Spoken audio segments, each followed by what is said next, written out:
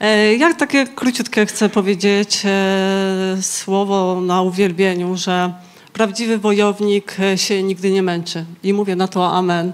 Kiedy przebywasz z Bogiem, jesteś naprawdę tak podłączony niereligijny sposób do Boga i, i to, to się nie męczysz, jesteś motorem. Po prostu napędzasz się cały czas. Ja mówię to we wszystkich dziedzinach na przykład, żeby e, jeśli trenujesz ogółem cokolwiek, to trenuj dalej. To, co też Ewa mówi, trenuj dalej. Trenujesz siłę, trenujesz się w modlitwie, coraz więcej kopiesz, to kop dalej. E, czyta słowo, kop dalej, tak? Takich wojowników potrzebujemy, którzy się nie męczą.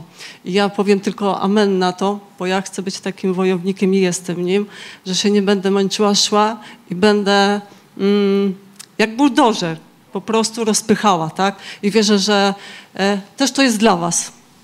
Amen.